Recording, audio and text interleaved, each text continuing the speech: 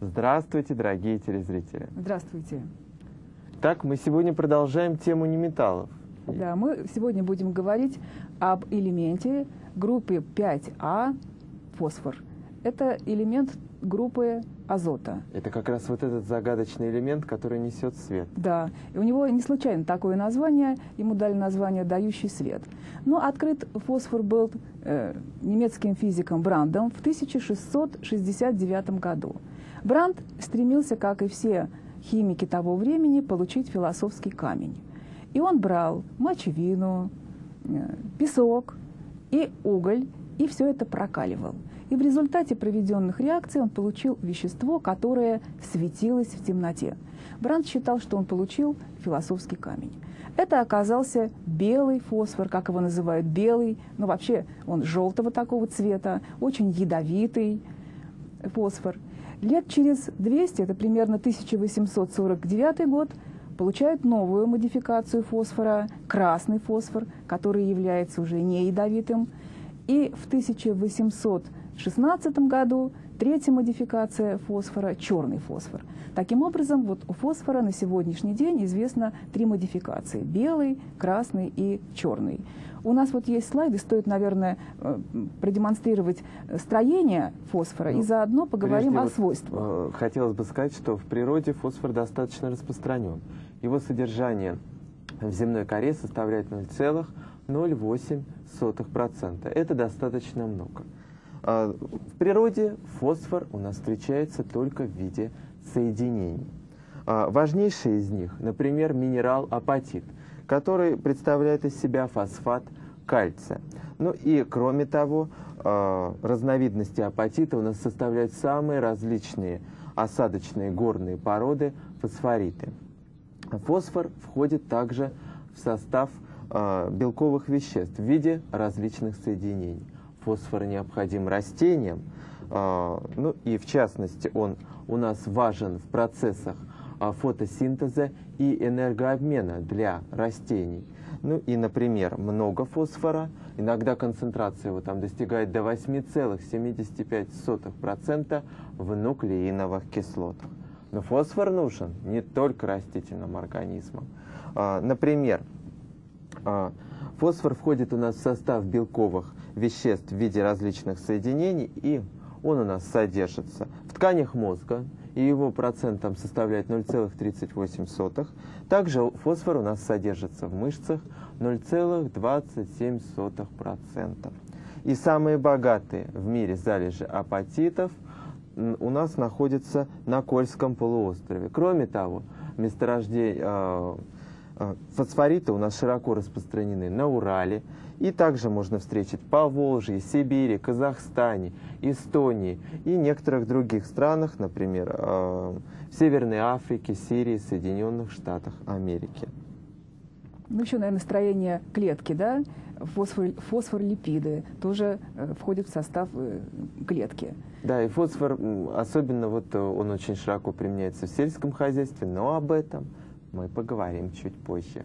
Давайте посмотрим основные характеристики белого фосфора. Ну, как вы видите, строение нам уже знакомое. Это в виде пирамиды. Плотностью этого фосфора где-то 1,82 грамм на сантиметр кубический. Температура плавления довольно небольшая, 34 градуса. Но если мы начнем нагревать белый фосфор до температуры 200-250 градусов Цельсия, то он будет переходить уже в красный фосфор – у которого другие свойства, в частности... Ну, давайте как раз... А, а, вот в у частности, такой... у него, знаете, э, другая плотность, это уже примерно 2,2 грамм на сантиметр кубический, другая температура плавления, 350 градусов. И если мы белый фосфор будем нагревать примерно до температуры 220 градусов, и при этом будет у нас давление где-то 1200 мегапаскаль, мы получим черный фосфор который по своей структуре похож несколько на графит. Но я бы хотела, прежде чем посмотреть нам э, слайд о строении черного фосфора, вот здесь для наших э, зрителей такую небольшую подсказку. Мы часто говорим плотность, там сколько-то грамм на сантиметр кубический. И говорим температуру. Ну, температуру еще понять можно как-то, сориентироваться. А вот плотность, что значит там 1,8 грамма на сантиметр кубический. Вот у нас здесь представлен обыкновенный наперсток на, на столе. Такой стандартный, и объем этого наперстка, вернее, объем э, да, внутренней поверхности, это где-то 1 сантиметр кубический. И когда мы говорим, что плотность фосфора 1,8 грамма, то, пожалуйста, если мы зачерпнем полный наперсток э, белого фосфора, то масса будет 1,8 грамма. Когда мы говорим, что у красного фосфора плотность 2,2 грамм на сантиметр кубический, значит, если мы зачерпнем вот этот наперсток э, красного, красного фосфора, заполним, то здесь будет 2,2 грамма. То есть очень удобно сориентироваться, что значит плотность грамм на сантиметр кубический. Ну вот у нас белый фосфор, такое вещество тоже считается сильное, ядовитое. Да, вот. да. И в воде он э, практи- не растворим, а растворяется в сероуглероде. Ну, вообще у белого фосфора э, свойства очень интересные, они даже и по химическим свойствам отличаются. И лет сто назад возникло новое направление у нас в химии, это фосфор-органическая химия. И впервые обратили внимание на ядовитые свойства соединений, органических соединений, в которые входит фосфор. И, во всяком случае, немцы проводили работы по разработке химического оружия на основании фосфорорганических соединений. Но вот э, в наше время фосфор-органические соединения используются в урановой промышленности для, вот, для получения из урана, вернее, из руды э, урана, выделения этого урана. Кроме того, фосфорорганические соединения используются как катализаторы – ну где То как они катализатор? ускоряют химические они реакции. и ускоряют, но самое интересное, вот часто, особенно в медицине, важно, какое мы получили вещество, левое или правое, потому что э, э, лечебные свойства различные. Да, так абсолютно вот, верно. фосфорорганические соединения, они э, способствуют в результате реакции вот эти катализаторы, чтобы получалось то соединение, которое необходимо для лечебных целей. То есть вот у фосфора, э, и если раньше работали с фосфором э, со степенью окисления плюс 5, то теперь э, фосфорорганическая химия стала развиваться и работают с фосфором степень окисления плюс 3. Говорят, помолодела фосфорорганическая химия. То есть вот такие перспективы развития дальнейшие есть у нас. Ну, мы с вами говорили о белом фосфоре, и вы сказали, э, также говорили о черном да. фосфоре. Ну вот черный фосфор, как вы видите по своей структуре, он немножко напоминает графит. Примерно вот так, такая же. Но у графита у нас на первых занятиях были слайды, конечно, более такая четкая структура. Но тем не менее, вот э, такое пространственное строение э, черного фосфора. Ну, и его можно получить, я так понимаю, при длительном нагревании. И высокое давление должно быть. Да, белого фосфора. Да, из белого фосфора. Такая реакция достаточно дорогостоящая получается. Ну, теперь стоит поговорить, как мы обычно, и о химических свойствах, наверное. Может быть, мы сначала просто напомним последовательность, а дальше э, рассмотрим уже реакции. Да, конечно. Ну, мы, конечно, сначала рассматриваем, как взаимодействуют с неметаллами. В частности, нас будут интересовать галогены, кислород, сера, углерод, взаимодействует ли фосфор с азотом. Дальше посмотрим, как взаимодействуют с металлами. И, конечно, интересно, как, какие реакции вступает фосфор со сложными соединениями там, с, с кислотами, с гидроксидами.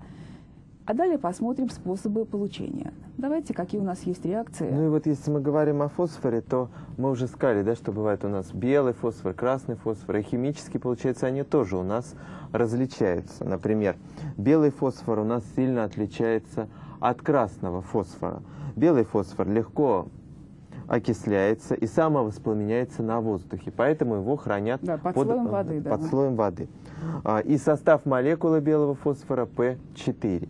В то же время э, красный фосфор у нас не воспламеняется на воздухе, а, но воспламеняется при нагревании при температуре свыше 240 градусов. Ну и давайте посмотрим свойства фосфора. И, как мы и говорили, что мы сначала смотрим отношение фосфора к неметаллам. Ну, тут а. взаимодействие с кислородом да. вступает в реакцию. И вот здесь вам э, приводят специально две первых реакции. Мы получили, видите, в первой реакции P2O5. Да, оксид фосфора. Да, э, степень окисления плюс 5. 5. Да, да, да. Но вообще правильнее рекомендуется записывать оксид этот P2O5 и в скобочках N. N, как правило, равняется 2. Вот такая запись. Ну и мы видим уже даже вот из этой реакции о том, что разные степени окисления, э, из этих реакций разные степени окисления проявляет фосфор. Да? А, там, где оксид фосфора 5, да, это первая реакция, и э, реакция вторая. А, вот, а в третьей реакции мы уже получаем, э, видим, что мы получаем оксид фосфора 3. А, здесь уже фосфор проявляет степень окисления плюс 3. Дальше взаимодействует с галогенами, но для этого тоже требуется определенные температуры. Взаимодействуют с серой, но тоже необходимо э, высокие температуры, определенные условия. Ну, хотелось бы сказать, что реакции с белым фосфором обычно идут легче, чем с красным. Да, конечно, он более активен. С азотом фосфор не взаимодействует.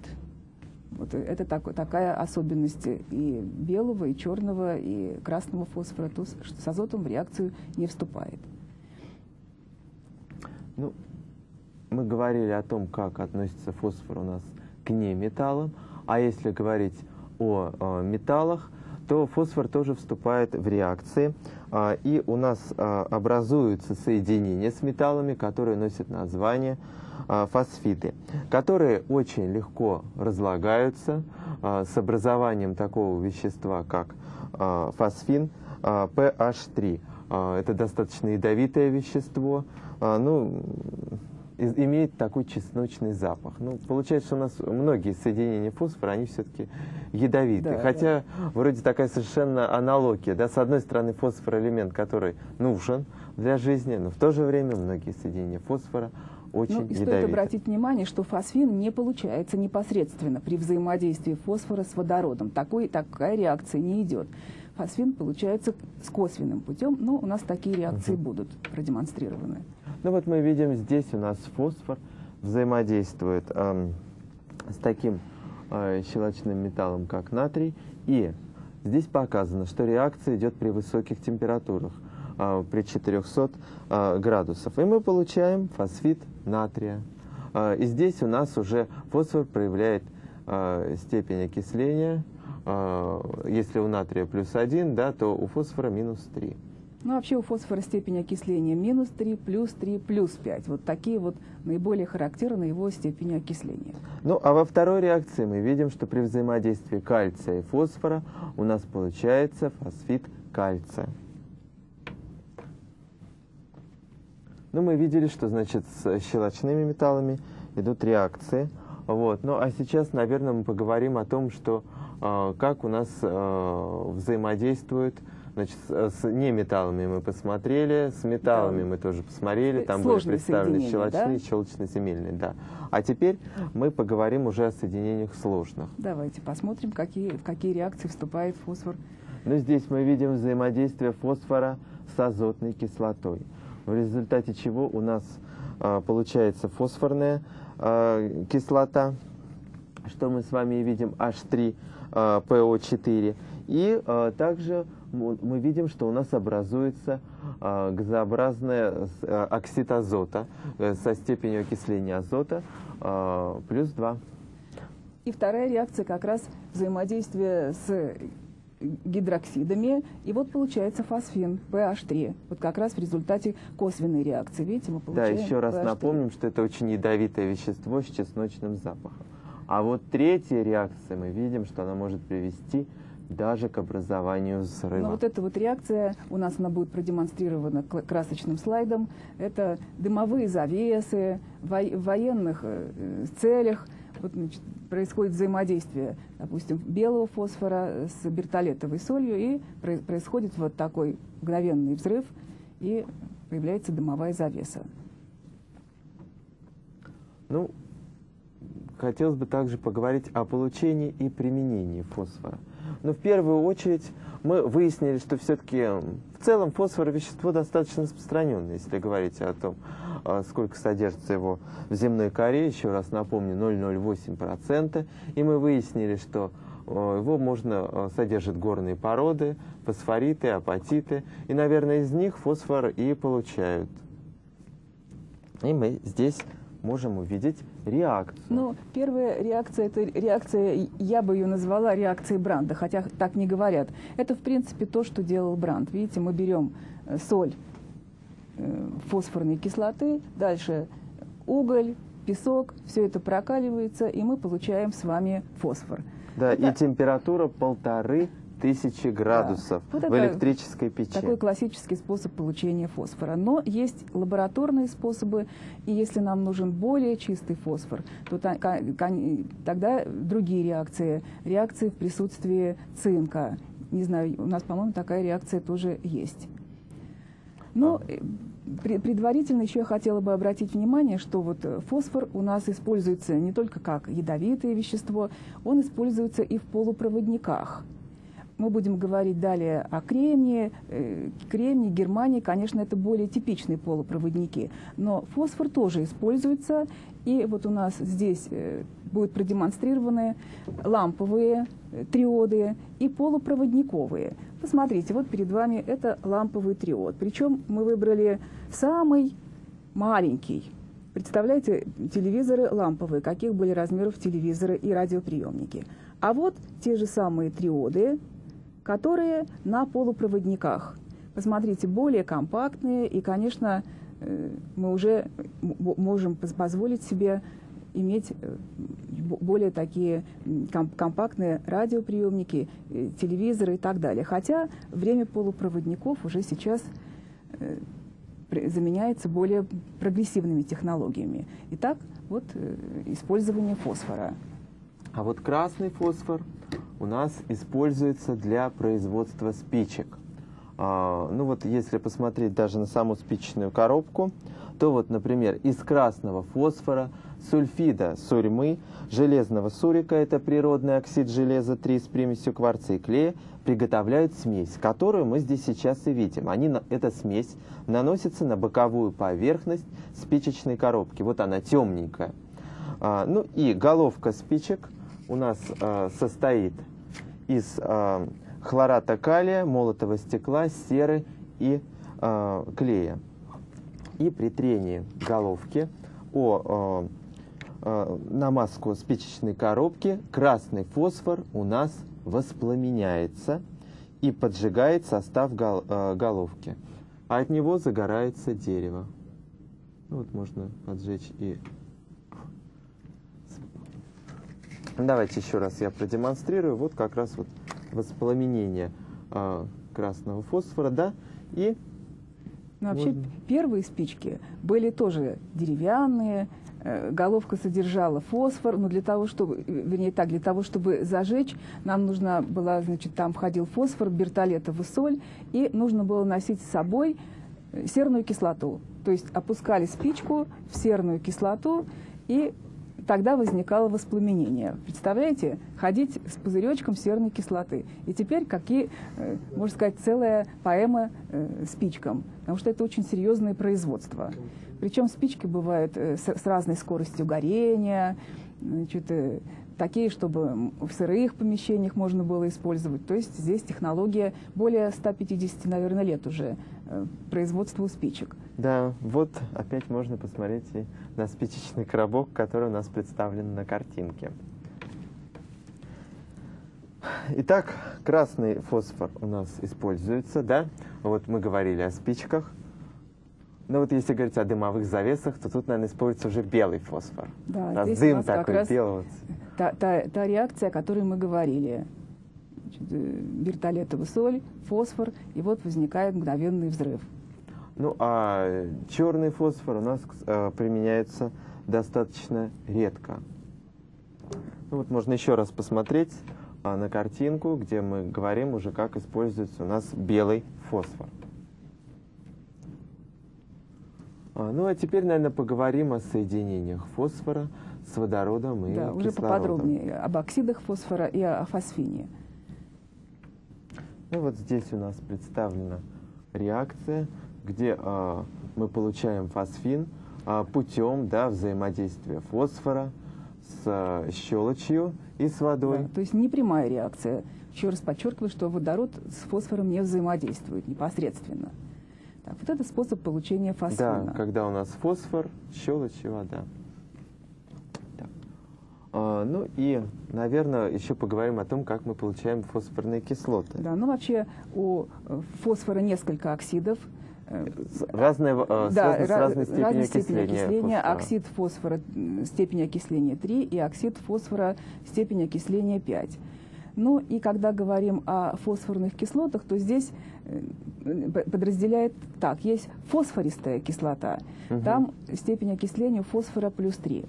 И фосфорные кислоты, не говорят, что фосфорная кислота, а фосфорные кислоты, потому что их получается сразу же несколько.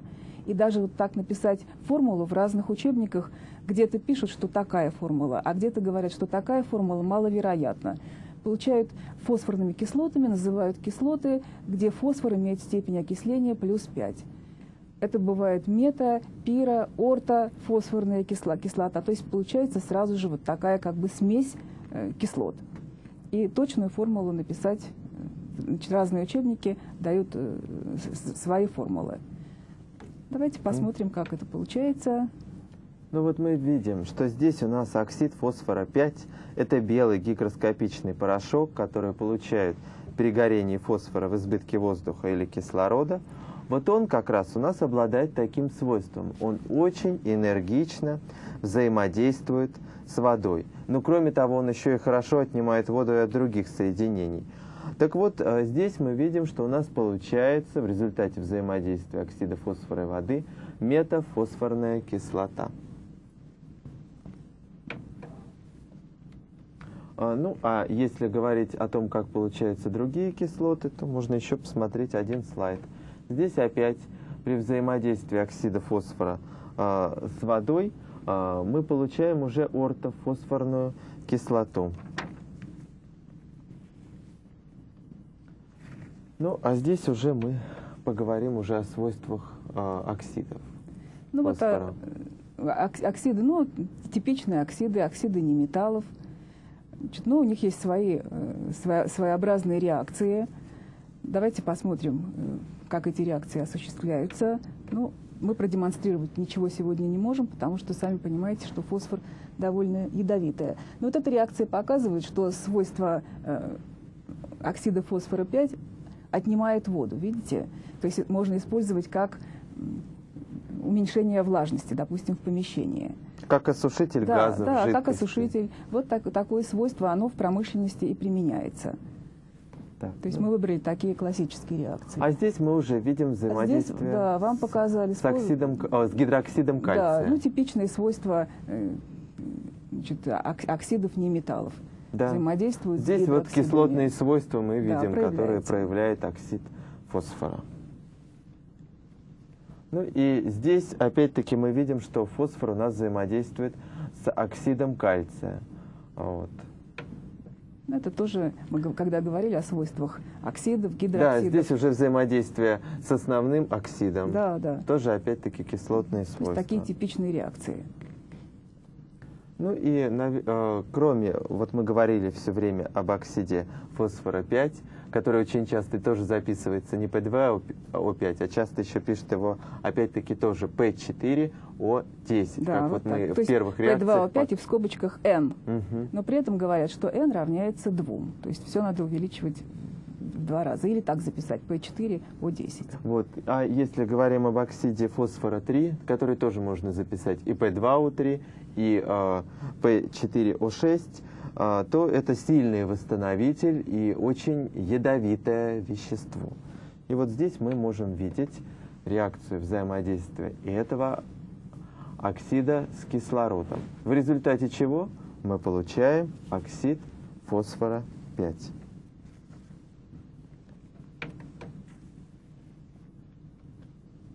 Ну а теперь, наверное, более подробно поговорим о фосфорных кислотах. Да, ну, у нас там слайды дают названия этих кислот и формулы, но мы должны знать, что, в общем-то, они не отдельно, а как бы получается сразу вот, э, и, и мета, и орта, и пирофосфорная кислота. Ну вот давайте посмотрим. Вот. Здесь у нас а, представлена формула метафосфорной кислоты Видите, а, пишите HPO3 и буква N, то есть и ортофосфорной кислоты. ортофосфорные дают э, вот такую формулу.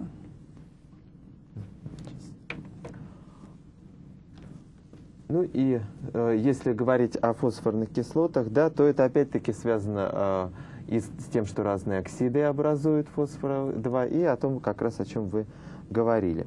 А, ну, фосфорная кислота это считается достаточно такое твердое вещество. Да, да. Вот, и с водой... Кристаллическое белое вещество. Ну и при нагревании H3PO4 э, не разлагается на оксид и воду, а переходит э, в пирофосфорную и полимер э, метафосфорные кислоты. Говорят, что они генетически связаны, эти кислоты. То есть одна переходит в другую. Поэтому, опять-таки, одну общую формулу, в общем-то, и писать нельзя, не- невозможно написать ее. Но у нас, по-моему, есть такая цепочка, которая демонстрирует переход одной э, кислоты в другую при Да, нагревании. все это как раз происходит именно при высоких температурах. Ну вот мы здесь э, как раз э, эта цепочка нам и демонстрирует.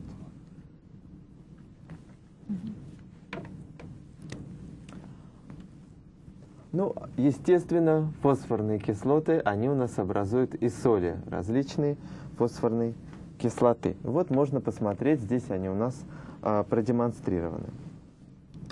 А, мы видим фосфаты. Здесь они... Средние соли и кислые соли. Да, абсолютно верно.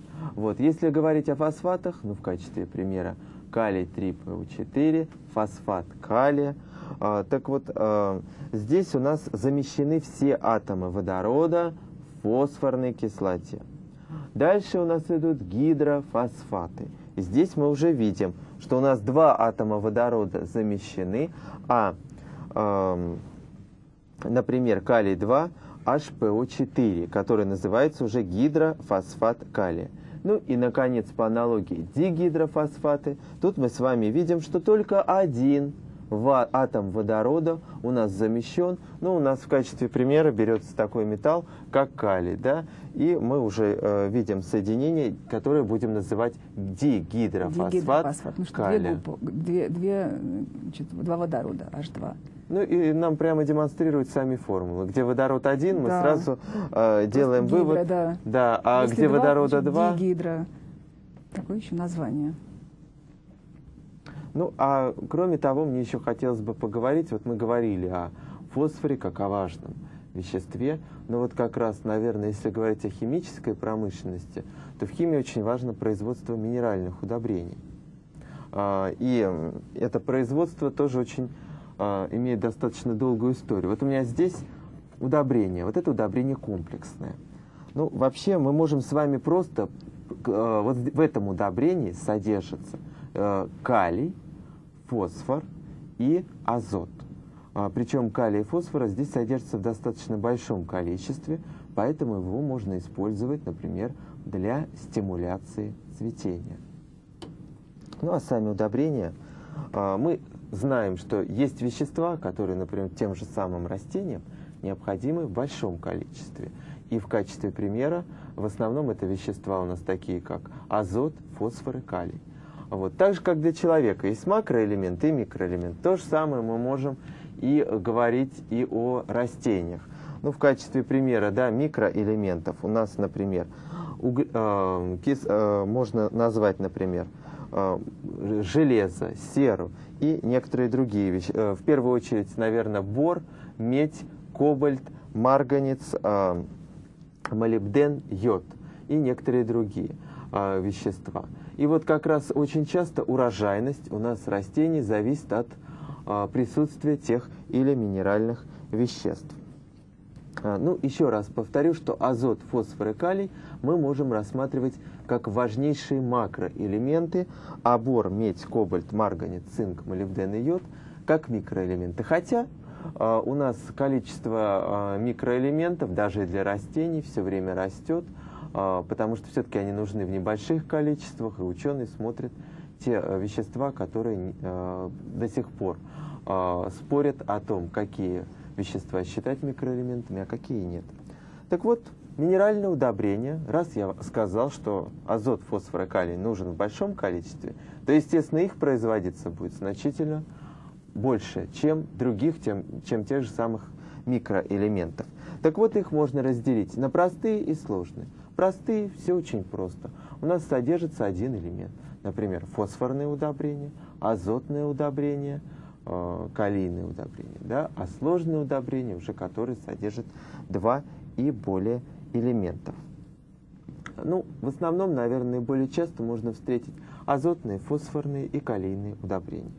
А, ну, наверное, начнем мы с фосфора. А, я э, говорил о том, что фосфор у нас входит в состав многих соединений, которые имеют очень важное значение для процессов фотосинтеза и энергообъема у, а, и энергообмена у растений. И наиболее ценные вещества – это фосфорно-кислые соли одновалентных металлов. Хотя есть и растения, которые способны поглощать и относительно мало растворимые соединения фосфора. Ну, активнее всего у нас фосфор поглощают э, растения в период сильного роста. Э, и фосфор в первую очередь необходим для снабжения молодых листьев. Э, кроме того, э, многие растения вполне неплохо реагирует на подкормку фосфором. Но самое главное что? Что если у нас не хватает растению фосфора, то оно значительно медленнее зацветет и урожайность тоже понизится. Кроме того, фосфор у нас повышает устойчивость растений к неблагоприятным факторам среды и снижает вероятность возникновения инфекционных заболеваний. Еще раз повторюсь, отставание в росте, замедление цветения – листья могут приобрести темно-фиолетовую окраску, все это говорит о недостатке фосфора. Ну, если более сжато сказать о калии, то калий у нас необходим тоже в первую очередь для Евгений, цветения. я хотела еще немножко о фосфоре добавить. Да-да-да. Мы, наверное, читали произведения Гелеровского.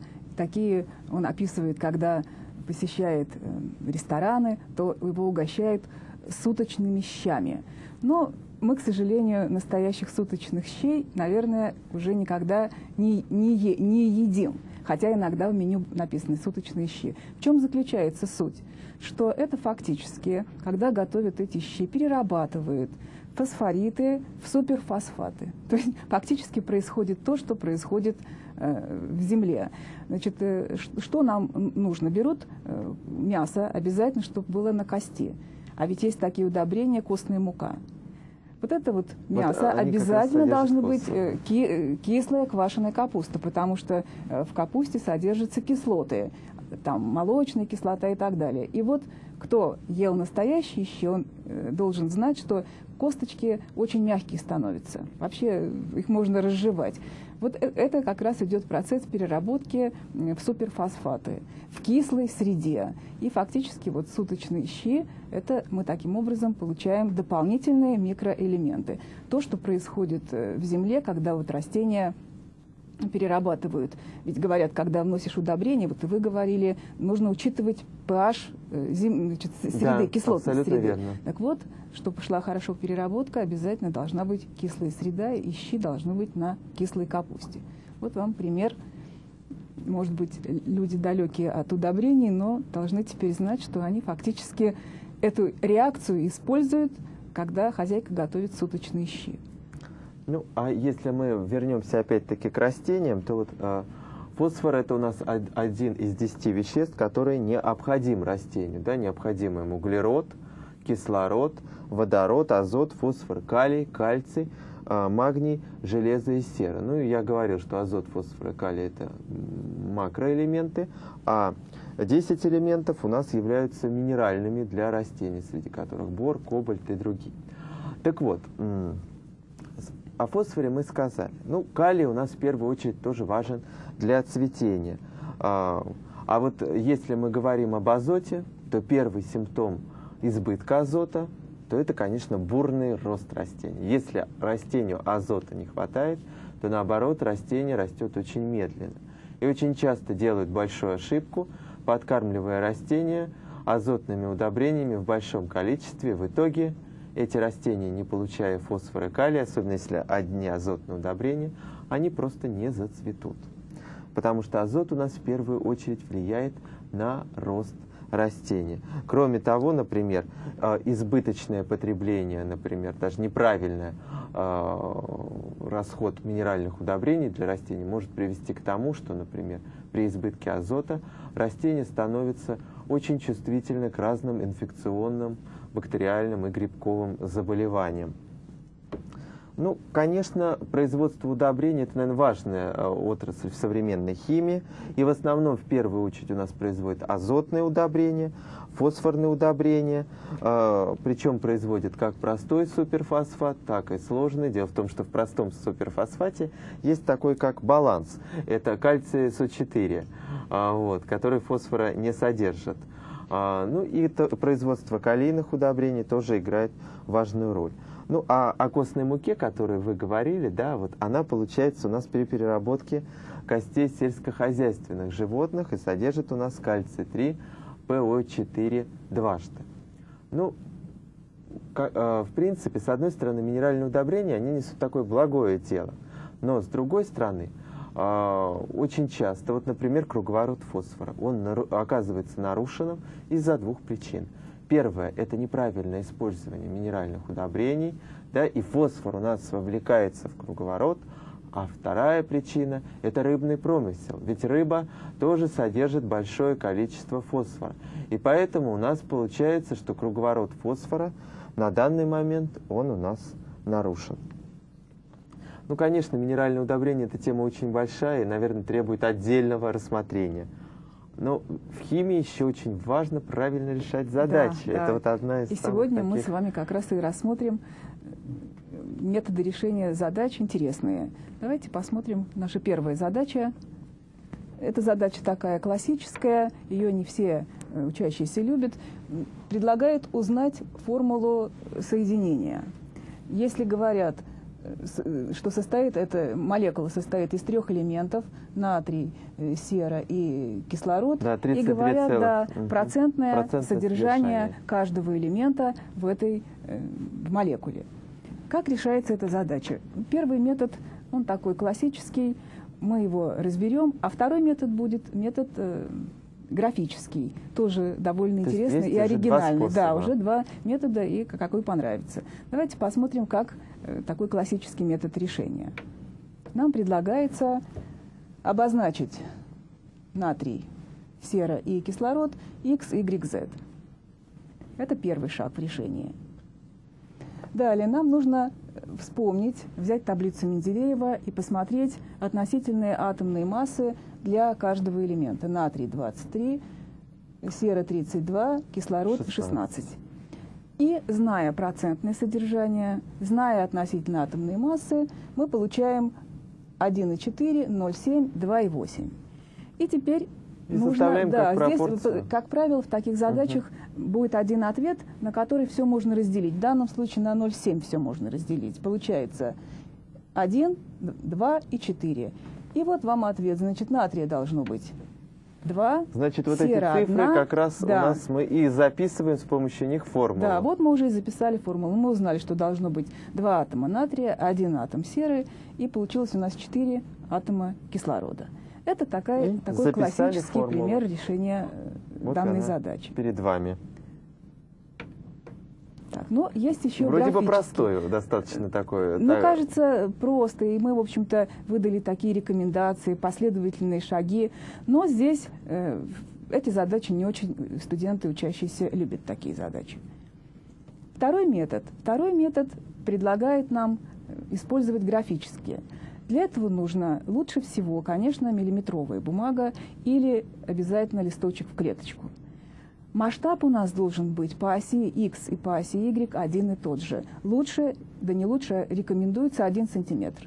То есть по одной оси и по другой оси 1 сантиметр принимаем там за единицу. И посмотрите, что мы э, получаем. Здесь у нас нужно будет построить три прямых линии Каждая линия строится по двум точкам. Но начало у всех линий из точки 0.